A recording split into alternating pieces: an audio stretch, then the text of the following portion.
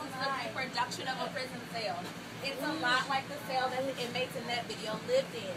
They sleep on a bed that's nothing more than a hunk of metal with a thin mat for a mattress. They use a toilet seat combo. That means the same place that they wash their face and brush their teeth. It's the same place that they go to the bathroom.